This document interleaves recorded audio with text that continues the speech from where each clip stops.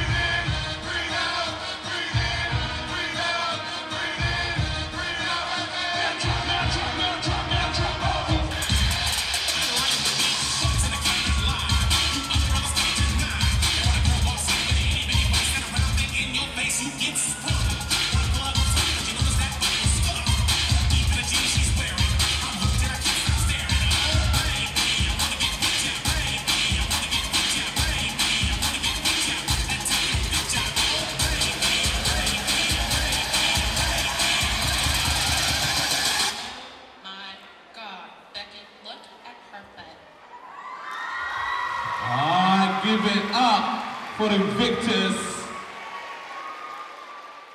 Don't forget to get your pictures, guys.